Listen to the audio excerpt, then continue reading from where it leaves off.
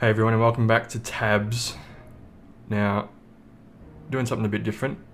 I recently unlocked the Club Spinner secret unit and if you use cheerleaders, which is also a secret unit, uh, you can turn a Club Spinner into a tornado.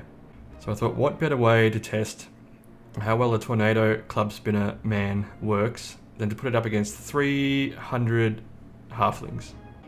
So we're doing the Shire versus one man with a cheer squad.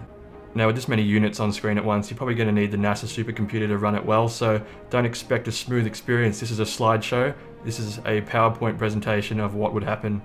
This is running on a Ryzen 7 2700X and an NVIDIA 1080 Ti. So it's not a slow machine, but boy is it a slow experience.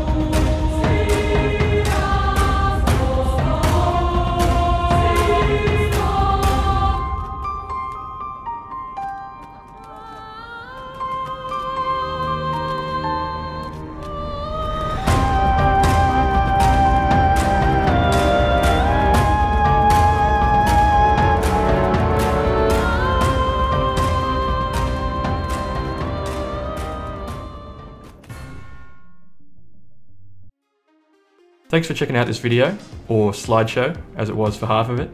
If you liked what you saw, give me a thumbs up. If you didn't, a thumbs down's fine. If you have any ideas as to things we could try in tabs, maybe a hundred mammoths versus one hobbit could work. Nah, maybe not. But anyway, if you do, let me know in the comments below, and I'll see you in the next one.